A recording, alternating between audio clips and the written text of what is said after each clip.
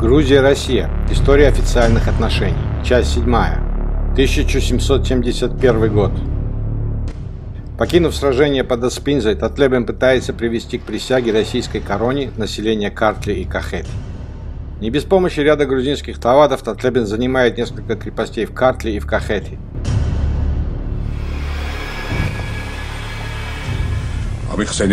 Объясните, что вы делаете? Ужасно оскорбленный поведением русского графа Эрекля II, после Татлебена с войсками покинуть Картли Кахети. Екатерина II заменяет Татлебина на генерала Сухотина.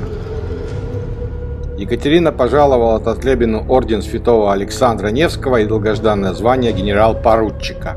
Звезду Александру Васильевичу. В конце 1971 года русский экспедиционный корпус покидает Грузию.